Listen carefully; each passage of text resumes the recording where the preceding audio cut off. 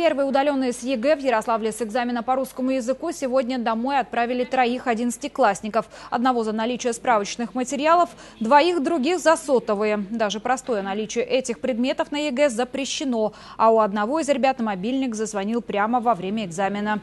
Русский язык – предмет обязательный для сдачи. Теперь школьники не получат аттестаты не смогут поступить в вузы.